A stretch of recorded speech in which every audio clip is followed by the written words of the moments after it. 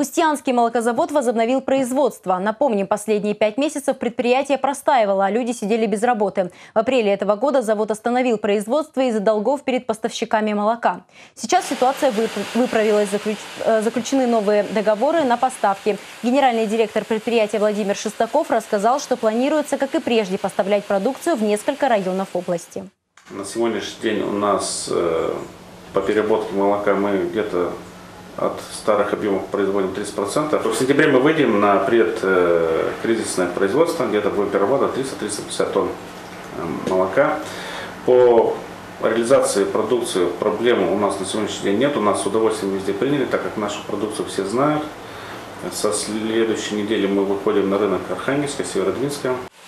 Недавно все оборудование на заводе обновили. На данный момент здесь работают 20 человек и планируют принять на работу еще столько же. Предприятие выпускает всю ту же продукцию, что и раньше – молоко, кефир, творог, сметану, снежок и масло.